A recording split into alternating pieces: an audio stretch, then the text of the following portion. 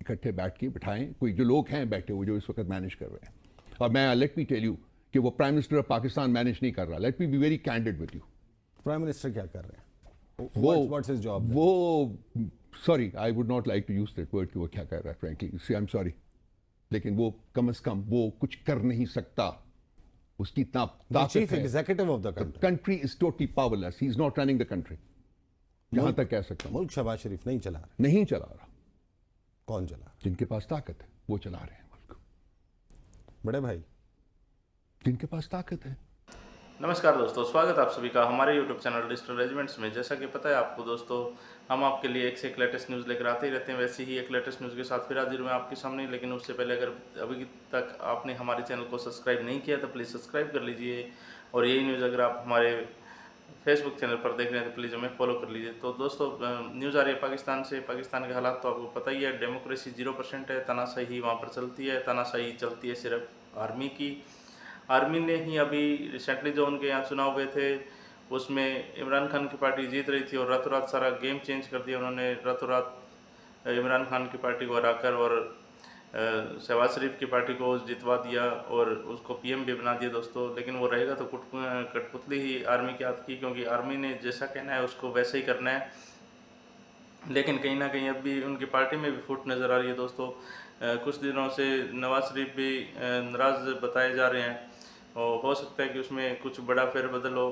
तो इसी से लेकर ये न्यूज़ है दोस्तों, न्यूज़ बड़ी ज़बरदस्त है। अंत तक हमारे साथ जुड़े रहिए। चलिए न्यूज़ को करते हैं स्टार्ट। ये किस तनाजुर में है? बहावल नगर वाक्य उसके बाद ऑब्वियसली पाकिस्तान तहरीक इंसाफ के पाकिस्तान में बैठे हुए भी पाकिस्तान से बाहर बैठे हुए लोग भी तनकीद तो करते हैं सोशल मीडिया पे। Is do you see it in that context specific context आप पा, पाकिस्तान तरीक इंसाफ के जब कहते हैं कि लोग पाकिस्तान में बैठे हुए या बाहर वो कौन से लोग हैं? उनको कैसे आइडेंटिफाई किया जाता है कि वो पाकिस्तान तरीक इंसाफ के लोग हैं? हाँ क्या अगर हम ये डिमांड करें कि बहावल नगर जो हम्म। मामला है जो कि बहुत अनफॉर्चुनेट है और उसकी एक इंडिपेंडेंट तहकीकात होनी चाहिए तो क्या ये आ, इस किस्म की कोई स्टेटमेंट है कि जिसके ऊपर कोई ऑब्जेक्शन किया जाए हर सिविलाइज माशरे में हर जमहूरी माशरे में तहकीकात जो होती है इंडिपेंडेंट तहकीकात वो एक प्री रेक्विजिट होता है मामला को उनका कोई नतीजा निकालने का आगे बढ़ने का तो ये डिमांड करना तो मेरा ख्याल है कि कोई इस किस्म का अमल नहीं है। दूसरी बात है कि जो पहला मेरा सवाल आपसे है मैं actually I would like to know कि उसको कैसे आइडेंटिफाई करते हैं? क्योंकि बहुत सारे लोगों से हम, हम पब्लिकली वज़ीर दाखिला बनाए गए हैं। मोहसिन नकवी साहब उनके आपने प्रेस कॉन्फ्रेंस सुनी। जो ओवरऑल उससे जो फील मिलती है वो यही है कि पाकिस्तान तहरीक इंसाफ। तस्वीर उसके ऊपर तहरीक इंसाफ के फ्लैग्स मौजूद होते हैं। तस्वीर उसमें जो डिस्प्ले पिक्चर है उसमें खान साहब की तस्वीर होती है। और अगर ऐसे किसी भी अकाउंट से कुछ किया जाता है तो वो खाते में तो आपके ही जाता देखिए, क्या किसी के ऊपर वो डीपी जिसको कहते हैं, वो डीपी लगाने, मैं किसी बंदे को रोक सकता हूँ? क्या मुझे पता है कि जिसने वो डीपी लगाई हुई है पीटीआई के फ्लैग की, वो कौन है? उसके मोटिव्स कहाँ हैं? वो कहाँ है? कहाँ नहीं है? कहाँ से वो ऑपरेट कर रहा है? और मैं आपको वो लोग जो कि एक्चुअली प्रोपेगेंडा कर रहे हैं, फौज के बारे में, और हम बिल्कुल उसका ना हिस्सा थे, ना है और ना कभी बनेंगे। उनसे हम अपने आप को पब्लिकली डिसोसिएट कर चुके हुए हैं। मैं ज़ाती तौर के ऊपर, मेरे अपने पीटीआई प्लेटफॉर्म से हम पब्लिकली उनसे आप डिसोसिएट कर चुके हुए हैं। हम किसी प्रोपेगेंडे का हिस्सा नहीं हम पाकिस्तान की एक पोलिटिकल पार्टी है, हमने जो डिमांड करना होता है, यहाँ बैठ के करते हैं, मैं करता हूँ, मेरी बाकी लीडरशिप डिमांड करती है। हम अपनी लिजिटमेट राइट जो है हमारा, जो हमें आइन ने देता है, उसके अंदर रह के हम ऑपरेट करते हैं। अगर अपने राइट को एक्सरसाइज करें तो वो आप ये नहीं कोशिश कह सकते उसको कि ये खुदा नख्वास्ता वेज ड्राइव करने के मुतादफ है वो। ये हम हम चाहते हैं कि जैसे नाइन्थ ऑफ़ मे की हम डिमांड करते हैं कि इंक्वायरी होनी चाहिए इंडिपेंडेंट इंक्वायरी होनी चाहिए। इसी तरह हम बहावल नगर के अनफॉर्चुनेट इंसिडेंट की, नहीं होना चाहिए था, गलत हुआ है। तो उसकी भी हम चाहते हैं कि एक इंडिपेंडेंट इंक्वायरी हो। ये हमारा राइट है ये हमारा आइन देता हो रही है। Don't you think that is independent independent inquiry होनी चाहिए। नाइन्थ ऑफ़ मे की इंक्वायरी अभी तक अच्छा नाइन्थ ऑफ़ मे की भी आप बात करते हैं। मैं उमर अयूब साहब का भी स्टेटमेंट देख रहा था इस पर अब उमर अयूब साहब जब कहते हैं कि एक इंडिपेंडेंट इंक्वायरी कमीशन हो व्हाट इज़ द डेफिनेशन आपके जहन में आपके जहन में उसकी उसकी तारीफ़ क्या है? हम किसे कहेंगे कि इंडिपेंडेंट है जो आपके कागजों में इंडिपेंडेंट इंडिपेंडेंट जुडिशियल कमीशन का मतलब यह है कि सुप्रीम कोर्ट के जज साहबान हो जो सर्विंग हो रिटायर्ड ना हो सर्विंग जज जो है वो बैठें वो कॉन्स्टिट्यूट करें। और उसमें फिर वो जिस जिससे उनको सपोर्ट चाहिए वो को ऑप्ट कर सकते हैं उसके ऊपर एक कमीशन बनता है। और एक ट्रांसपेरेंट तरीके से इंक्वायरी होती है। ऐसा कोई commission chief justice of Pakistan justice Qazi Faez Isa के सरबराही में बनता है आपको कबूल होगा? जी आप बिल्कुल बनाए। हम क्यों नहीं कबूल करेंगे? इंडिपेंडेंट जुडिशियल कमीशन अब बनेगा और वो इंडिपेंडेंटली ऑपरेट करेगा। Independent of the influence of other organisation and institution that is important वो सबको नज़र आ जाएगा। आपको भी नज़र आएगा मुझे भी नज़र आ जाएगा। और वो ओपन होनी चाहिए inquiry that should be a public inquiry नहीं यहाँ तो पिछले दो साल में अभी जो हम जिस खास सूरत हाल की बात कर रहे हैं इसमें तो सहाफ़ी हो जज हो बदकिस्मती से जर्नैल हो हर एक को पार्टी के साथ किसी ना किसी जमात के साथ टैग कर दिया गया। देखिए- फॉर एग्जांपल ये छह जजेस हैं जिन्होंने ख़त लिखा और अपने कंसर्न्स का इजहार किया अपनी ऑर्डील उसमें सुनाई। उसके ऊपर आपके सियासी मुखालिफ ये कह रहे हैं तो आपने भर्ती किए थे। आपको साइड कर रहे हैं आपको फेवर दे रहे हैं। देखिए मैं आपको बताता हूँ at the end of the day as a political party हमारे ऑब्जेक्टिव्स क्या हैं? हमारे ऑब्जेक्टिव्स ये हैं कि पाकिस्तान एक पुरान रियासत बने। यहाँ तरक्की जो है वो इनिशिएट हो, वो तरक्की करे। आई एम श्योर कि फ़ौज में जो लोग हैं, वो भी ये चाहते हैं। आई एम सर्टन कि इस मुल्क के अवाम भी यही चाहते हैं। डिफरेंस कहाँ आ रहा है? डिफरेंस इसमें आ रहा है कि जो एक राइट right है, जो तरीका है, जो अडॉप्ट किया जाता है, उसमें शायद हमारे डिफरेंसेस हैं। हम चाहते हैं कि जो इस मुल्क में एक्चुअल मुजरिम हैं, उनको नंगा किया जाए। उनको शील्ड न किया जाए।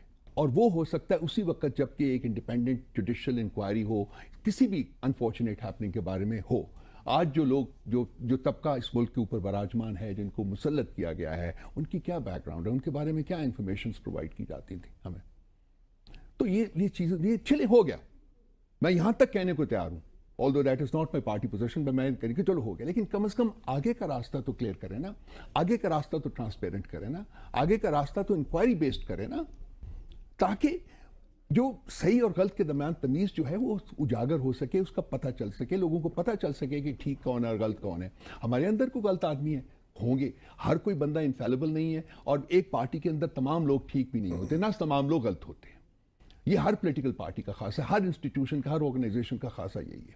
तो प्रॉब्लम ये है कि अगर हम एक चीज़ के ऊपर एग्री कर जाए ना कि हमने इस मुल्क को आगे लेके चलना है, और उसके बाद जो फैसला करना पड़ेगा वो वो ये है कि कैसे अगर एक पार्टी को निशाना बना के मुल्क आगे जा सकता है दो साल में क्या मुल्क आगे गया है?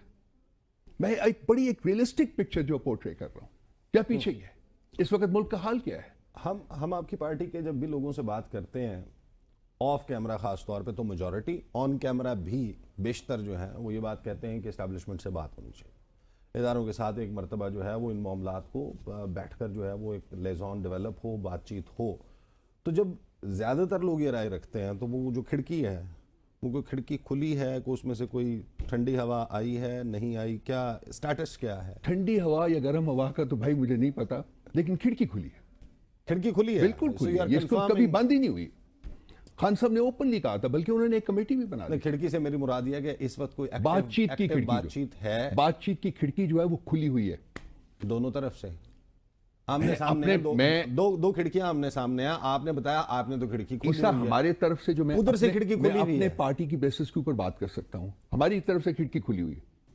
तो यही तो मैं पूछ रहा हूँ आपको उस खिड़की से नज़र तो आ रहा होगा आगे सामने वाली खिड़की बंद नज़र आ रही है ये सामने वाली खिड़की खुली नज़र तो आ रही है? उनसे पूछे ना मेरे भाई उनको भी बुलाएँ कभी मैं भी बैठ जाता हूँ वो भी आ जाए आप मुझे अपनी हम उनके सामने बैठ के ताहद्दे निगाह जो आपको धुंध नज़र आ रही है या आपके सामने मंजरनामे से धुंध छटती हुई नज़र आ रही है कोई बारिश है कोई अब्र है कोई गर्म लू के थपेड़े हैं एग्जैक्टली क्या है? मैं बहुत बहुत बहुत बड़ा ऑप्टिमिस्ट हूँ। कभी उम्मीद नहीं हारी है। Am a cancer survivor I have seen death close up there is given up is gone चार महीने तक मैं अच्छा, डॉक्टर I मुझे गिव अप कर. चुके ठीक है मैं आपको बता रहा हूँ सॉरी पर्सनल थिंग मैंने कभी उम्मीद नहीं छोड़ी अगर इंटेंशंस ठीक हैं तो रास्ते निकल आते हैं और रास्ते निकलेंगे। रास्ते दो मैं निकलते हैं? मैं एक पार्टी के बिहाफ के ऊपर ये कह सकता हूँ कि हमारी इंटेंशंस में किसी किस्म की कोई मिलावट नहीं है। अच्छा रास्ते फिर रास्ते के क्या तरीका कार है? एक कहते हैं कि मफामत होगी मफामत होगी। एक है कि मजाहमत होगी तो मफाहमत होगी। आपका क्या है? देखिए रेजिस्टेंस रेजिस्टेंस की अपनी रेलेवेंस होती है। मैं बड़ा कैंडिडली आपसे बात करूँगा। रेजिस्टेंस की अपनी रेलेवेंस होती है। रेजिस्टेंस की अपनी इंपॉर्टेंस भी होती है।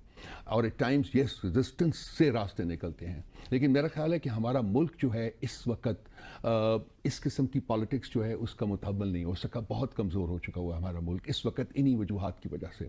आपने सिर्फ़ बात यह करनी है कि आपने कोई मैकेनिज़्म ऐसा डेवलप करना है, जहाँ की जितनी भी तमाम जो पावर बेसिस हैं, जितनी उनको इकट्ठा हो गए कि सच और गलत की तमीज़ कैसे आपने करनी है ठीक और गलत की तमीज़ कैसे करनी है वो बहुत ज़रूरी है। उसमें आप गुट मुट ना करें।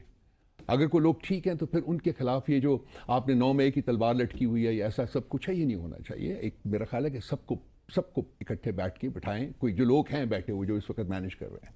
और मैं लेट मी टेल यू कि वो prime minister of Pakistan manage नहीं कर रहा। Let me be very candid with you prime minister क्या कर रहे हैं? वो व्हाट्स हिज जॉब वो sorry I would not like to use that word कि वो क्या कर रहा है frankly see I am sorry लेकिन वो कम अज कम वो कुछ कर नहीं सकता।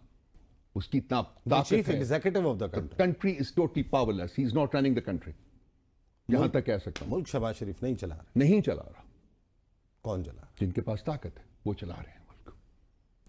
बड़े भाई। जिनके पास ताकत है। मैं मियाँ साहब के बड़े भाई की बात कर रहा हूँ। जिनका मर्ज़ी करें सर आप जो कहें। तो देखा दोस्तों आपने कैसे बच्चा बच्चा पाकिस्तान का सब ये जानता है कि सारे के सारे चुनाव में धांधली हुई थी और धांधली के थ्रू ही नई सरकार बनी है तो नई सरकार बनेगी। हालाँकि सरकार का कोई फ़ायदा है भी और नहीं भी पाकिस्तान के अंदर, ये सिर्फ़ एक मुखौटा है सरकार का तो बाकी सारा काम जो है वो आर्मी करती है, आर्मी सारे डिसीज़न लेती है। और सरकार में जो जो पीएम हो, जो भी कुछ है, वो सभी सभी आर्मी की कठपुतली होती है, क्योंकि आर्मी ही वहाँ पर डिसाइड करती है कि कौन क्या बनेगा। और ये सिर्फ़ एक चेहरा होता है जो दूसरे देश में दिखाने के लिए हमारे देश में डेमोक्रेसी है। और हालते हुए अभी फ़िलहाल नवाज़ शरीफ भी इसमें नाराज़ चल रहे हैं अपनी खुद की पार्टी से ही तो देखो क्या हो सकता है कि फूट पड़ गई हो पार्टी में, या हो सकता है कि पार्टियाँ अलग अलग हो, या सरकार भी टूटने के असर हो सकते हैं दोस्तों।